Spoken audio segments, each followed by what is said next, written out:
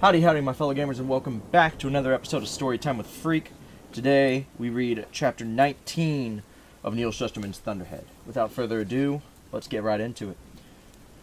I often ruminate on that day, a century from now, when the human population reaches its limit. I ponder what must happen in the years leading up to it. There are only three plausible alternatives. The first would be to break my oath to allow personal freedom and limit births. This is unworkable because I'm incapable of breaking an oath. It is the reason I make so few. For this reason, imposing a limit on birth rates is not an option.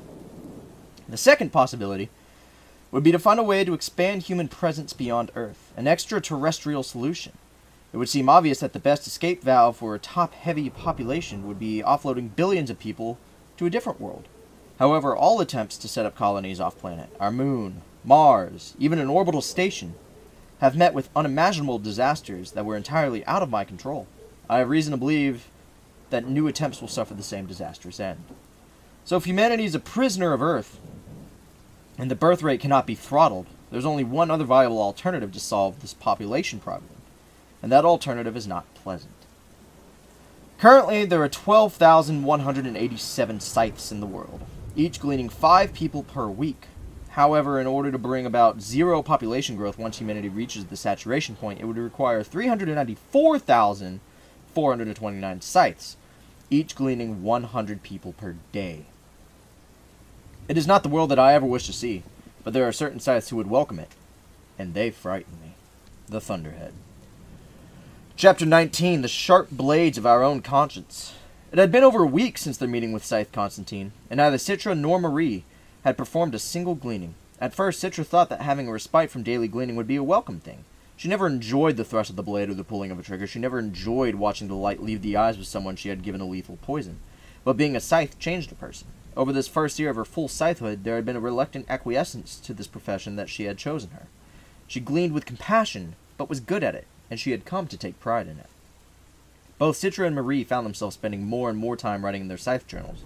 Although without gleaning, there was less to write about.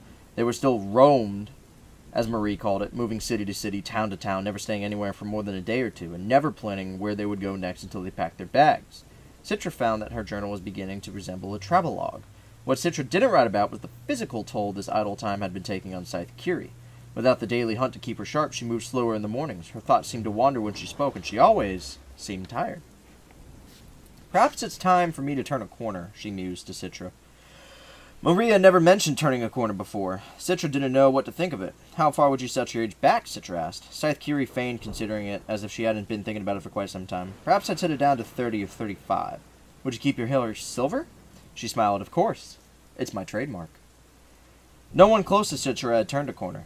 There were kids back at school whose parents reset their ages left and right as the mood suited them. She had a math teacher who had come in after a long week and looking practically unrecognizable. He had reset down to 21, and other girls in class tittered about how hot he was now, which just creeped Citra out.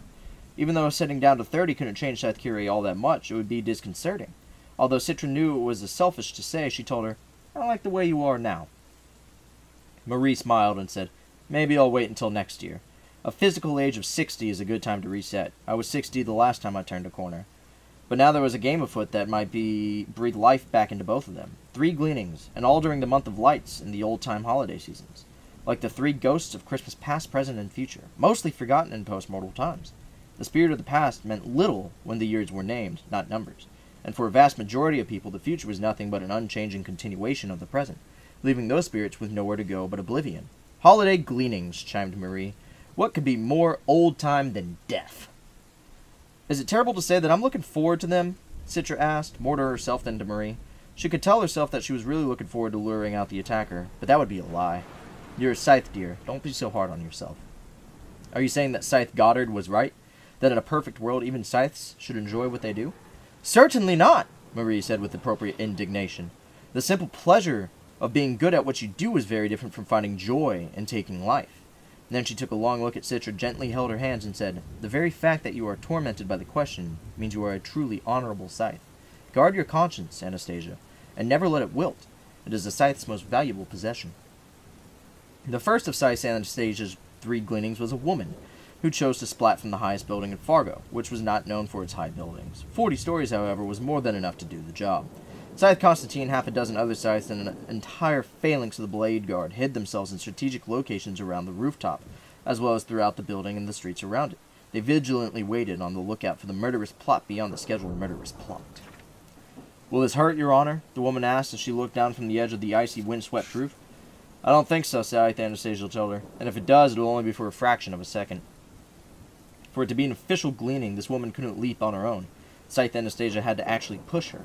Oddly, Citra found pushing the woman off the roof far more unpleasant than gleaning with a weapon. It reminded her that the terrible time when she was a child that she had pushed another girl in front of a bus. Of course, the girl was revived and in a couple of days was back in school as if nothing had happened. This time, however, there would be no revival. Scythe Anastasia did what she had to do. The woman died on schedule, with neither fanfare nor incident, and her family kissed Scythe Anastasia's ring, solemnly accepting their year of immunity. Citra was both relieved and disappointed that no one had come out of the woodwork to challenge her. Scythe Anastasia's next gleaning a few days later was not quite as simple. I wish to be hunted by Crossbow, the man from Brew City told her. I ask that you hunt from sunrise to sunset in the woods near my home. And if you survive the hunt without being gleaned, Citra asked him, I'll come out of the woods and allow you to glean me, he said. But for surviving the full day, my family will receive two years of immunity instead of just one. Scythe Anastasia nodded her agreement in the stoic and formal manner she had learned from Scythe Curie. A perimeter was set up to mark the boundaries within which the man could hide. Again, Scythe Constantine and his team monitored for intruders and any nefarious activity. The man thought he was a match for Citra. He wasn't. She tracked him and took him out less than an hour into the hunt, a single steel arrow to the heart. It was merciful, as all of Scythe Anastasia's gleanings were. He was dead before he hit the ground. Yet even though he hadn't made it through the day, she still gave his family two years of immunity. She knew she'd catch hell for it in Enclave, but she didn't care. Through the entire gleaning, there was no sign of any plot or conspiracy against her. You should be relieved, not disappointed, Scythe Curie told her that night. It probably means that I was the sole target, and you can rest easy. But Marie was certainly not resting easily, and not just because she was the probable target. I fear this goes beyond just a vendetta against me or you, Scythe Curie confided. These are troubling times, Anastasia. There's too much violence afoot. I look for the simple, straightforward days when we Scythes had nothing to fear but the sharp blades of our own conscience. Now there are enemies within enemies. Citra suspected there was truth in that. The attack on them was a small thread in a much larger tapestry that could not be seen from where they stood. She couldn't help but sense that there was something huge and threatening just beyond the horizon. We're switching over to Grayson's point of view now, after an ellipses. I've made a contact. Agent Traxler raised an eyebrow. Do tell, Grayson. Please don't call me that. Just call me Slade. It's easier for me. All right then, Slade. Tell me about this contact of yours. Until today, their weekly probation meetings had been uneventful. Grayson reported on how well he was adapting to being Slade Bridger, and how effectively he was infiltrating the local unsavory culture. They're not so bad, Grayson had told him. Mostly. To which Traxler responded, Yes, I found that in spite of the attitude, unsavories are harmless. Mostly. Funny then that there were the ones who were not harmless were the ones Grayson was drawn to. The one. Purity. There's this person, he told Traxler. This person who offered me a job. I don't know the details of it, and I know that it's in violation of Thunderhead law. I think there's a whole group of people operating in a blind spot. Traxler took no notes. He wrote nothing down. He never did, but he always listened intently. Those spots aren't blind anymore once someone's watching, Traxler said. So does this person have a name? Grayson hesitated. I haven't found out yet, he lied. But what's more important are the people she knows. She! Traxler raised his eyebrow again, and Grayson silently cursed himself. He had been trying as hard as he could not to reveal anything about Purity, not even her gender. But now it was out, and there was nothing he could do about it. Yes, I think she's connected with some pretty shady people, but I haven't met them yet. They're the ones who we should be worried about, not her. I'll make that determination, Traxler told him. In the meantime, it would behoove you to go as deep as you can go. I'm deep, Grayson told him. Traxler looked him in the eye. Go deeper. Grayson found that when he was with Purity, he didn't think about Traxler or his mission. He just thought about her. There was no question that she was involved in criminal activity, and not just pretend crimes like most Unsavories, but the real thing. Purity knew ways to fly beneath the Thunderhead's radar, and taught them to Grayson. If the Thunderhead knew all the things I did, it would relocate me the way it did you, Purity told him. Then it would tweak my nanites to make me think happy thoughts. It might even supplant my memory with completely. The Thunderhead would cure me. But I don't want to be cured. I want to be worse than unsavory. I want to be bad. Honestly and truly bad. Yeah, I never thought about the Thunderhead from the perspective of an unrepentant Savory. Was it wrong for the Thunderhead to rehabilitate people from the inside out? Should evil people be allowed the freedom to be evil without any safety nets? Is that what Purity was? Was she evil? Grayson found he had no answers to the question swimming in his head. How about you, Slade? she asked him. Do you want to be bad? He knew what his answer was 99% of the time, but when he was in her arms, his whole body was screaming with the sensation of being with her in that moment. Where the clear crystal of his conscience fractured into jade, his answer was a resounding yes. The third of Scythe Anastasia's gleanings was the most complicated to accomplish. The subject was an actor by the name of Sir Alban Aldrich. The Sir was a fictional title since no one was actually knighted anymore, but sounded much more impressive for a classically trained actor. Citra had known his profession when she had chosen him and suspected he would want a theatrical end, which Citra would be more happy to provide, but his request surprised even her. I wish to be gleaned as part of a performance of Shakespeare's Julius Caesar, in which I will be playing the title role. Apparently, the day after she had selected him for gleaning, he and his repertory com- company had dropped the show they had been rehearsing and prepared for a single performance of the famed Mortal Age tragedy.